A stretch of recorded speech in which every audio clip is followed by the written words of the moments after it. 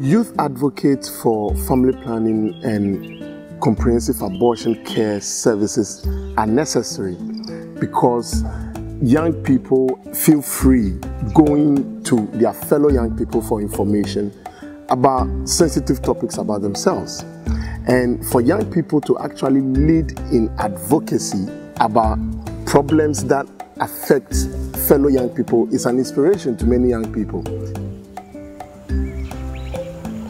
Our work as advocates is to give out information, let people know where they can go to access the services when they are faced with it. Our aim is just to give out information so you decide on your own.